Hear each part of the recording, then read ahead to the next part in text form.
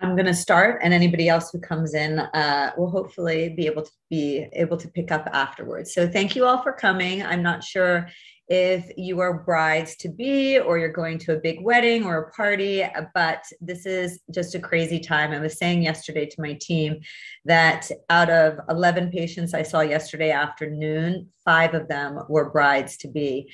So, all these people getting married, exciting times, fun times, but also, you know, everyone's trying to look their absolute very best. Um, so thank you very much for joining. I'm going to go over both skincare and just a little bit of advice on what to do in the lead up to having your wedding or whatever event that it is that you're going to. So I'm going to start from two months. Uh, basically, the best routine that you can do is the one that you're going to be consistent with. And really, a few months before your wedding, and ideally even three months before your wedding, you really start on a good, consistent routine with nice actives. Um, that gives it enough time for the skincare to work. And also, if for some reason you have some unusual sort of reaction with any product that you obviously don't have any, you know, that doesn't impact your big day. So, what does that consist of? So, in my opinion, you should always reveal, enhance, and protect the skin. And what that means is that you need to cleanse really well so you can get rid of any of the dead skin debris, really creates the foundation, a palette, so that any of the nice actives that you're going to place on top, you will then place on top.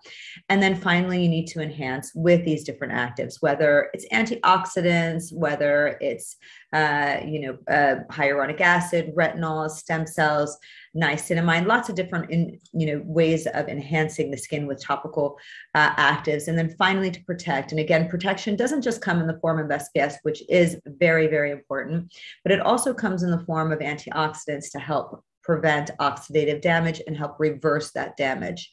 Um, so that's the consistency that you need to have. You don't need to have too many different products, but you should have at least those three steps. And there's certain ingredients that I think everybody should have in their skincare armoire. And that is at any age, by the way, is to have the SPF, as I said, to protect, also to have the vitamin C and the retinol. And I think those are you know three important essential skincare ingredients for all skin types at all ages that will benefit and give you healthy glowing radiant skin so that's my my trio my famous trio. But what should you do for the two months before having uh, your wedding? One of my favorite ingredients is our brighten and perfect. It's vitamin c and i love this product because it's a serum. It's incredibly light. I'm just going to open the cap and and um, you can use it in the morning and the evening. Basically sorry this one's new so i have to open the turn it the other way. So basically it has a very light consistency. Um, it's a it's a it's a serum not super thick and you know you can just put it on and it just is very light but very hydrating to the skin. So you know this is packed with uh, encapsulated vitamin C, as well as azelaic acid, which are both skin brighteners. Uh, vitamin C is a building block for skin itself. So it helps increase collagen production. So that's going to make your skin look a little bit more dewy in the long term. Also, a great skin hydrator as well as a brightener. We also have hyaluronic acid in it, which is where the hydration comes in from, but then brightening. So vitamin C helps decrease pigmentation from sun exposure and also helps to redensify that skin. So think about fine lines and wrinkles. So as I said before, just a powerhouse ingredient helps collagen production, helps decrease pigmentation, and helps to give your skin that glowy, do you know, radiant look. Um, and again, it has azelaic acid, which is also not only brightening, but it's also really good for inflammation of the skin. So it's a, it's a calming effect. Um, you know, vitamin C is one of those ingredients that I just can't live without. So that's what I would do in terms of prioritizing your AM serum. And in the evening, as I mentioned before, that's when I would use this retinol skin booster. And this is really a lovely product that has, you know, retinol, 2% retinol, and it's a drop. It's the last thing you do in your skincare routine. I put a few drops in my hands and I put it on top of my face. And what retinol does is again, it has, it helps increase skin activity and it also helps to boost your collagen production. So it increases cell turnover. Again, it's a skin brightener, it's a densifier for, for the skin, uh, and it will also help to maintain collagen stimulation. So these are the two sort of things that you should add into your skincare regimen if you're not using them. Um, the other thing that I'd like to do in office uh, in combination with this uh, is something for pigmentation called BBL, which is basically a souped up IPL. IPL is intense pulse light, BBL is broadband light. And basically, that's using different wavelengths of light that target redness as well as pigmentation in the skin. So if you suffer from perinasal or blood vessels around the nose, if you have some broken capillaries on the skin, if you're rosacea prone and have a T zone with just generalized redness, um, if you're somebody who's had a lot of sun exposure and lots of you know sunspots on the face this is the type of treatment that you would do perfect for a couple months before uh, the big day because what it does is those areas of pigmentation become darker for about five to six days and then they lighten up. And you need a series of those treatments every two to you know four weeks apart from each other. So ideally you could even start it at, at three months prior. So i think it's a really nice treatment to really give you glowing skin. Doesn't change how you look. It just makes it look like you have that foundation. Coupled with vitamin c and retinol you're really going to have an excellent way to give yourself that radiant beautiful skin. So that's what i like in office. At home, I also love to have the LED.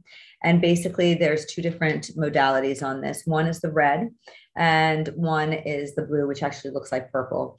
And basically, the different modalities the red is for regeneration and rejuvenation. It has red light as well as infrared light. And then the blue, which is looks like a little bit purpley, um, helps with inflammation, but it's also really great for people who, who suffer from a bit of acne because what it does is that it helps, it has an anti inflammatory aspect to it, but it also helps decrease the amount of P. acnes, which is a type of bacteria that sits on the skin and contributes to acne. So, a really nice way to, um, you know, give yourself a glow uh, and be able to do it in the comfort of your own home. It's for 10 minutes, it's self monitored. You put it on, you relax. Very important to relax for that 10 minutes. And then afterwards, you know, if you want to go out, you have beautiful glowing skin. And if you're using it as a treatment for, for instance, um, you know, some acne, then what I would recommend is that you would place it on at least three or four times a week. If you're doing it for rejuvenation, even once, you're going to get that improvement, but you'll get continued improvement with each time that you use it. So, just my favorite at home treatment to use um, whenever you can. I also wanted to talk about a little bit of laser resurfacing and rejuvenation to help with skin texture. We have things in the office, or other doctors do too as well. Um, things like a nano peel, which is basically using a laser to take the top few microns, like literally, you know, microns of skin away. And what that does it helps with skin texture. It also helps with pigmentation. It helps with fine lines and, you know, very fine lines and also with pores. So you can actually see the sebum in them sometimes. They, they sort of evaporate. It's really quite um, nice to do if you are somebody who has some acne scarring or you have more you know you're a little bit in you're not as young as your 20s and you want to have something a little bit stronger you can have you know either microneedling which will help with acne scarring and doesn't have too much downtime or you can take it a step further with something like halo which is an erbium laser that causes fractional ablation to the skin and really helps with pigmentation. It helps with skin density it just like makes you have beautiful glowing bouncy skin. So I love doing those treatments along again with the vitamin C and the retinol. I think that those are things that you can do all the time. You can of course use the the red mask um, to help with healing for that too. So I think that's just something that you can use all the time. Uh, and obviously, if you're microneedling and you use the retinol, you're actually getting even more improved penetration of your ingredients because you've created these little micro um, cha- channels for the ingredients to go into. So I love actually mixing some meso in with with the microneedling sometimes too, just to get that better penetration of the ingredients that you want. Now, if you're someone who feels like you know your skin's dry it lacks luster and you just feel like you want to give it like a little boost to make it a little bit more glowy that's where I love things like Profhilo and Nucleofill And basically, Profhilo is a type of hyaluronic acid that is like medicine for the skin. Um, someone told me it's like moisturizer in a needle. That's how they explained it to me. It's, you know, a few injection points. You can do it on the face, the neck, the decolletage. And what it does is that it spreads. So you get these little boluses. And then over the next couple of days, it spreads and it really rejuvenates the skin from inside, helps promote collagen production, but it's not a volumizer. You will not get puffy, you will not get, you know, full, you will not look at like a pillow face. So it's not at all a volumizer. It's really for that internal hydration of the skin. And Nucleofill is something that's new in my practice and it's it's new in the UK actually. So it's a polynucleotide. So it's not even a filler. It's not hyaluronic acid at all. What it is, it's the building blocks of our collagen, and you inject it, and basically that also jump starts and helps decrease puffiness around the eyes. It helps decrease redness, and again, it stimulates collagen production without volumization. So again, something that I absolutely love. Uh, and what I would add to that topically in terms of skincare is our hyaluronic acid serum, which is super light. Uh, and it's just divine. This is like one of my favorite go to products because it just makes you feel instantly hydrated immediately. So, really nice product to be able to use you can layer it. So you know you you use it first in terms of any other products. So you always start with your serums first and then you put your moisturizer and, and then um, an oil or an spf depending on what you're using. Um, I think this is a good time also to talk about injectables. So I think a lot of people like to know about injectables, uh, Botox, for instance, hyaluronic acid fillers, uh, dermal fillers in general. And I would say that if you're going to go down the route of injectables, uh, then I would definitely do it a little bit beforehand and perhaps even do a trial, you know, months beforehand to see if you're going to like Botox. So um, one of the places people always complain about are the number 11s in between the eyebrows. That's a perfect place at any point, uh, you know, a month before the wedding, up until a month before the wedding, that you can inject a little bit of botulinum toxin so you can't frown. So I can move my eyebrows, but I have clearly had some Botox in that area. So that's actually something really nice. Sometimes people are complain about their crow's feet and they want to do something about that so they don't look so lined in their, you know, photographs of the wedding. And again, a little bit of botulinum toxin or another neuromodulator in this area can actually help open and widen the eye area. So you can get like a millimeter or two even of a brow lift. And then if you have a lot of forehead lines, that's also something that can be done with a little bit of neurotoxin. And that's basically you're injecting the area of those muscles that cause lines from movement. So Botox will never help a static line. It only helps prevent or decrease those lines caused by muscle movement. So, you know, like I said, I can't frown, or I don't actually get lines around my eyes. So I don't really have any here, but I do have a little bit in my upper eyebrow just to help open my eye a little bit. And then finally, you can do the forehead, which again, I'm frozen. I'm not frozen, but I have some movement, but I don't have much. And so, again, you can do botulinum toxin up here. And basically, that functions to, you know, help elevate the eyes, but also help decrease the, those wrinkles that form from the movement of that upper eyelid. Some people like to do a little lip flip. They don't want to have any filler in their lip, but they just want to have that little bit of a zhuzh. And so a little bit of Botox in this area can help flip the lip. Um, some, you know, people, you know, like my age, you know, you get these bands, you can inject those bands with botulinum toxin too, or any sort of neuromodulator. And the nice thing about that is that you know, like when you're animated and you're so happy, you make all these weird faces, but then you won't see those bands coming down, which is really quite nice. So that's actually something that can be done as well. Another great place for Botox is underneath the underarms. Um, you will not sweat for your big day. If you're having a summer wedding, you can do this up to two weeks beforehand. And what it does is decreases the amount of sweating. We sometimes do a little light spray on the face for some people who have a lot of facial um, hyperhidrosis, which is basically excess sweating. I've done it in the groin area, hands. Hands and feet are a little bit more uncomfortable, but you can also do it in the hands and feet. Um, so lots of really fun places that you can use the neuromodulators like Botox uh, and Dysport and Azzalure. Um, fillers, on the other hand, are something I'd like to do a couple months before because they have long longevity. So at this point, you can do them without any problem whatsoever. So you can uh, do it a couple months in advance. The nice thing about hyaluronic acid fillers is that it's reversible. So, for some reason you're like, oh my God, I hate what I look like, you can have it dissolved and in enough time so that you don't have to worry at all about your wedding. Um, the reason I like to do fillers, dermal fillers earlier is also because there's always a risk anytime you do any injection in the face of having a little bit of bruising. And while most people don't have bruising, it's like Murphy's Law or, you know, the catch 22 that when you have something really important, that's the time that you're going to have um, a little bit of bruising. So this is the perfect time if you want to have a little bit in the tear trough. If you feel like you're a little dark in that area, you can volumize that area. If you feel that you want a little bit in the lips or a little bit of contouring on your jawline or your cheeks, neck i mean literally anywhere. Sometimes i even put it in the soles of my patients feet because they know they're going to be on heels the whole night and they want a little bit of cushioning. You might have heard that you know people on the red carpet like to do that. It's not my favorite to do because it's a little uncomfortable but it seems to help people tremendously in, in what they're doing. So those are the things that I would say. I would complement that again, both of those injectables with our retinol, with our vitamin C, and with our hyaluronic acid. And as I mentioned before, there's no better way to support collagen production with at home treatments, again, with your LED light. So those that's my little tidbits for a couple months before. A couple months before you have a lot of options and it's just really nice to be able to you know look and see. And if you don't know what the best option is for you that's where you have to go and visit someone like me or somebody that you trust who can give you a little bit of that insight as to what you may or may not be able to do.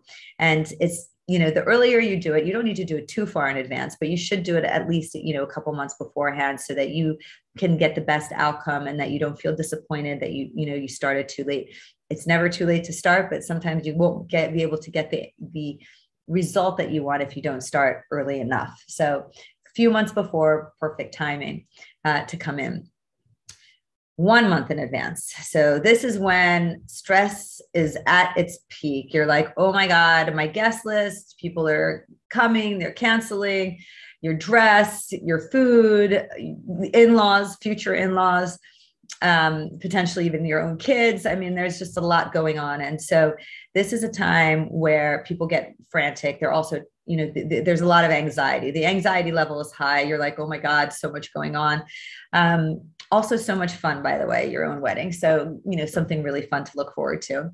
Uh, but this again this is the time you know i spoke about skin boosters like profhilo and Nucleofill. They're usually multiple treatments.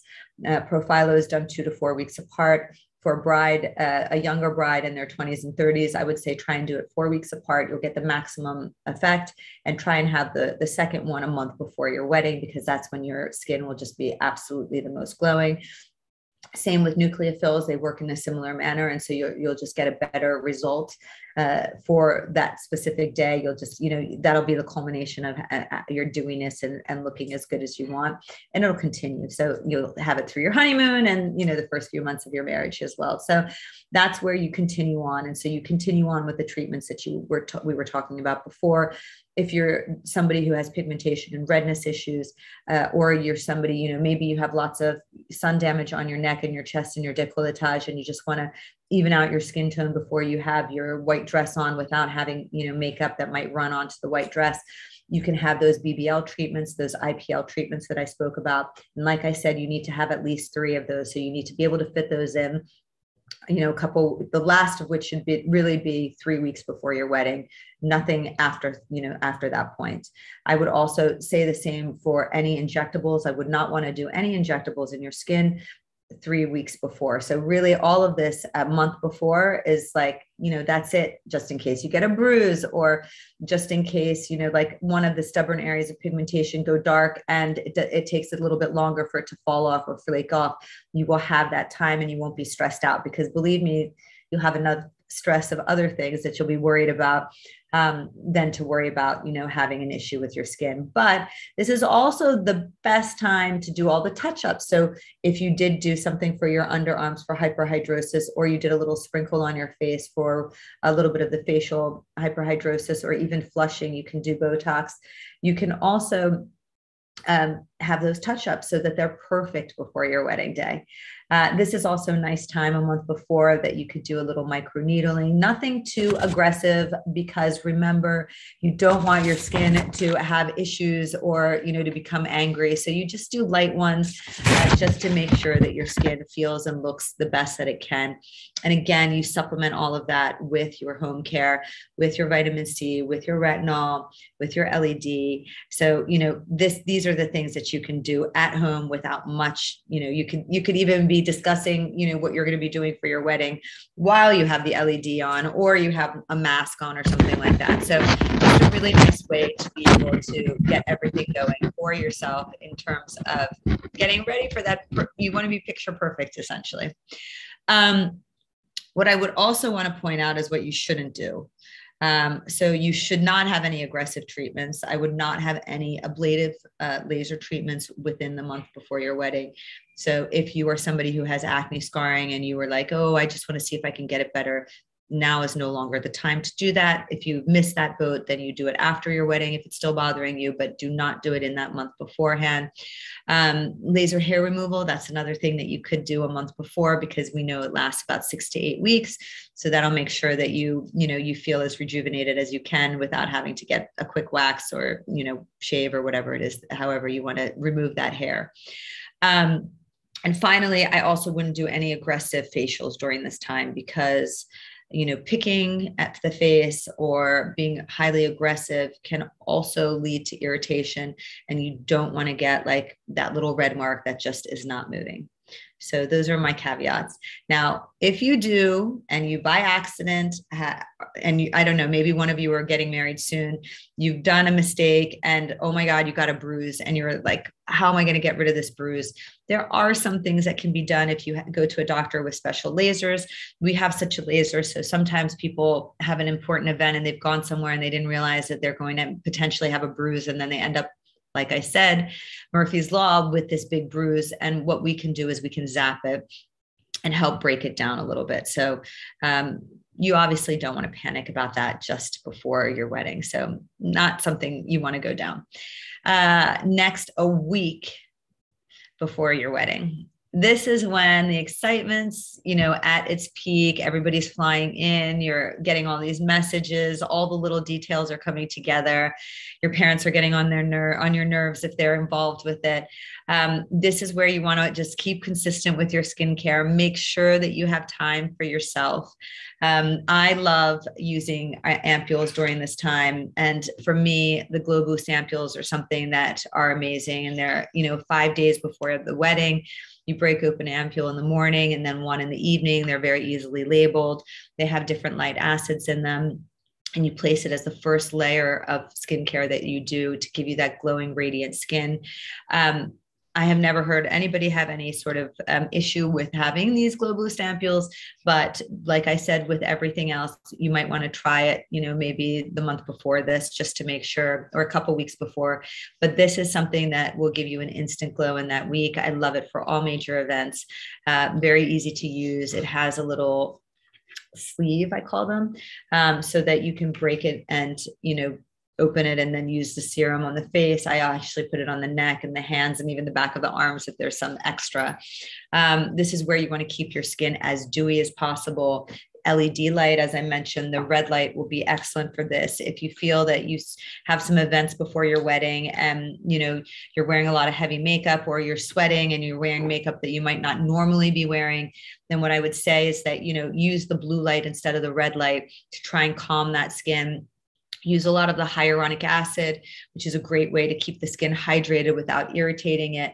I if you're going out and you know i just was watching on instagram one of my friend's sisters got married a big big fat uh, Indian wedding, and they had seven days of like fabulousness in Venice. And I was like, oh my God, I'm exhausted looking at the pictures. And that's where, you know, these types of things like the golden eye masks are a great way to depuff the eye, give you hydration, decrease fine lines and wrinkles. And I love putting it in the fridge for about 10, 15 minutes in the morning or whenever I'm about to use it to give it that little bit of refreshment.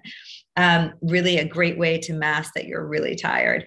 Uh, but also just a great way to hydrate the skin. You know, a really nice go to. You can even put it on while you're having your makeup done on the day of ha- having your wedding so that you just, you know, give your eyes just that little bit of a zhuzh. Um, so again what else can you do? I this is the time that i would say if you have a facialist or you've done a hydrofacial before go back to that person have a nice facial have a nice relaxing facial massaging facial with products that you've already been using not something new at all um, just to get the lymphatics going and also just to relax you and let you enjoy that time right before your wedding. Um, and as I mentioned, the LED is just my ultimate favorite go to home treatment that you can possibly do. And finally, on the day of your wedding, I mean, everything is at its peak. Uh, everybody's coming together. You have your makeup, your hair, your dress, your everybody, your friends, your bridesmaids, if you have them, your, you know, your parents, the in-laws.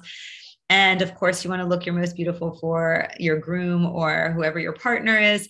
And this is the day that masking is the perfect way. You wake up, put your nice gold eye masks on, let them sit there, take it all in, do a little bit of meditation even with your eye masks on so you can, you know, clear your head uh, and really try and enjoy the moment. It's a little hectic. Just remember on that day, only you are going to know any of the shortfallings. No one knows what you were planning. So if something's not absolutely perfect, it might irritate you, but no one else is going to know so don't tell them.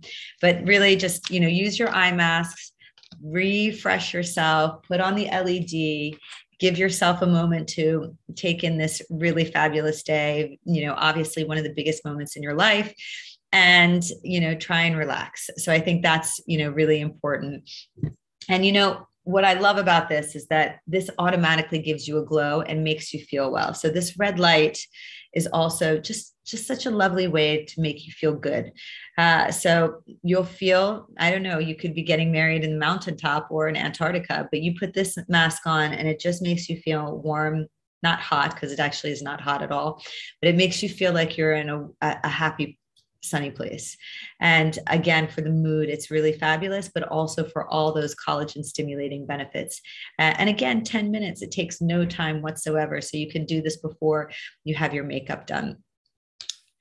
Um, and I think with that, you know, that's most of what I would say is the way to go forward. I did that so fast. I think I was talking really fast. Um, but what I would say is that, you know, try this moment you'll see when you get married you think you've been preparing for so long it goes in a split second and the wedding's over and the next day you're like did that happen it was the best day night whatever of your life and then you're like that went by so quickly all that effort for um, just a quick party um, and a lifetime uh, memories to make but you know it's really important to try and relax. Um, obviously, way easier, better said than done because I'm on the other side of it now. I've been married a very long time. I, I was about to, to, you know, think about it, but I think it's like 2006, so 16 years um, but it feels just like yesterday. So, and I still remember my wedding and it makes me smile. So, you know, you will look your most beautiful on your wedding day, no matter what, because you will have the biggest smile.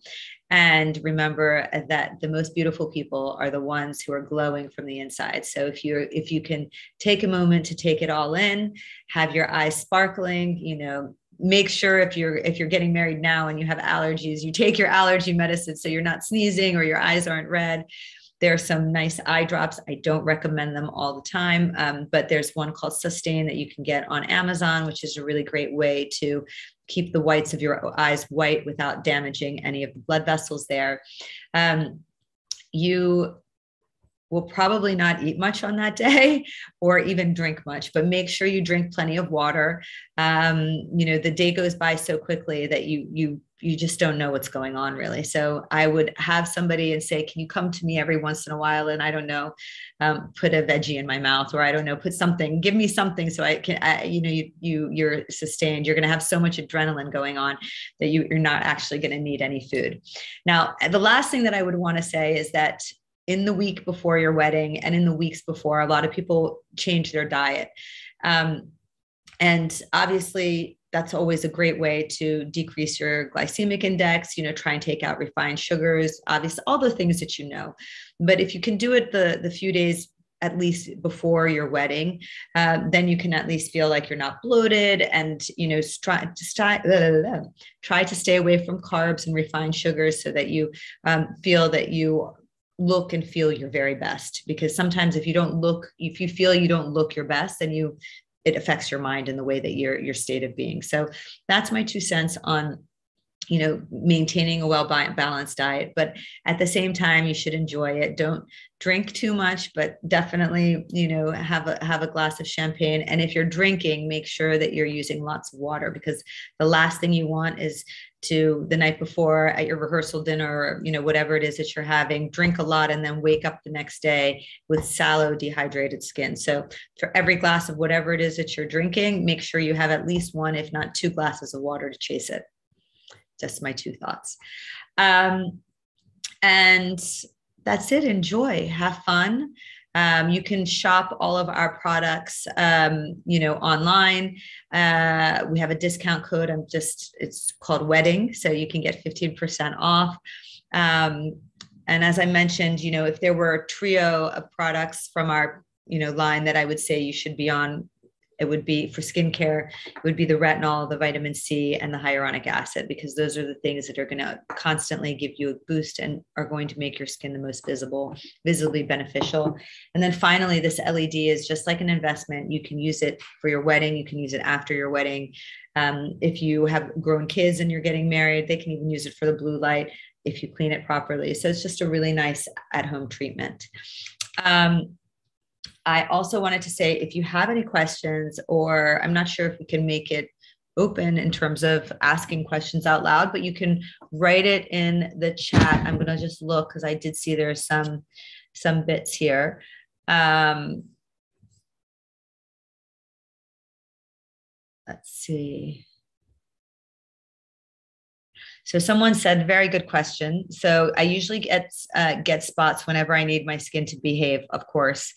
Um, oops, I've where to go. What do you recommend for this on the day of an event? So depends on what day your event is. So if God, you know, if, if unfortunately you have something that pops up just on the day of your event, if you have access to someone like me or a dermatologist, you can go and have a very quick uh, cortisone injection that will immediately, it won't make the redness go away, but it will make, if you have a volcano, go down a little bit.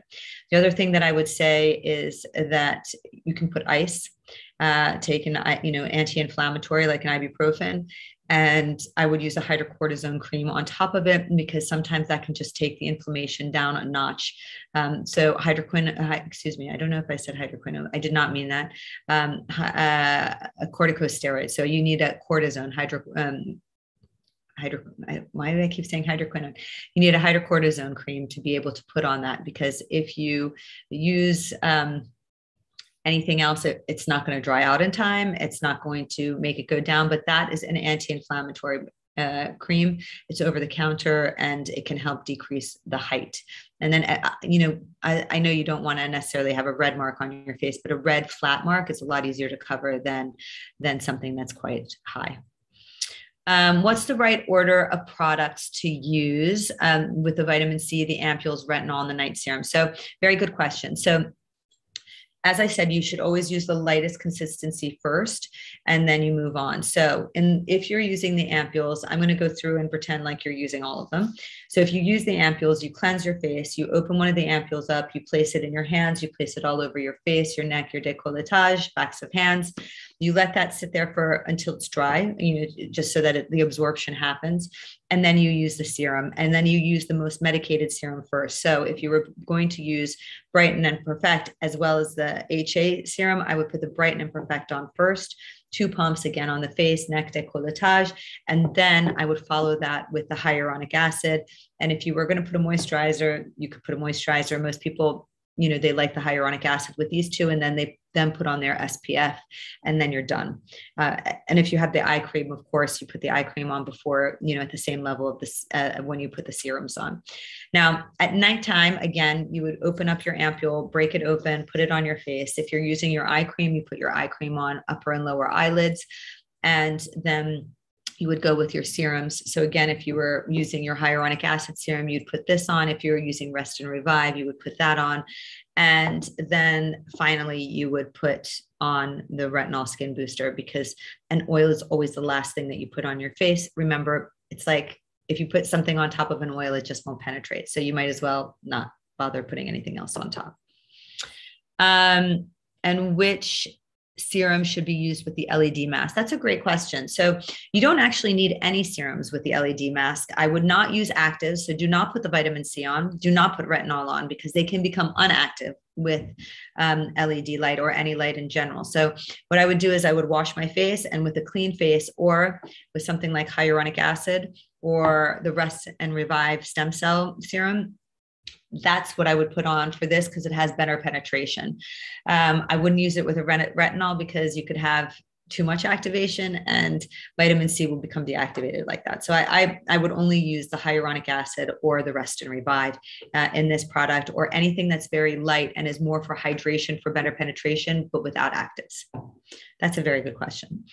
Um, let's see. So any other questions for me? Nope. Um, I want to thank you all for joining. If you have any questions, you can always reach out to uh, me on MZ Skin Official on our Instagram or on Dr. Maryam Zamani. Always like to help where I can. Uh, and yeah, I think that's it. So I'm just going to check one last time to see if there are any other questions. But I don't think so. Thank you so much for joining and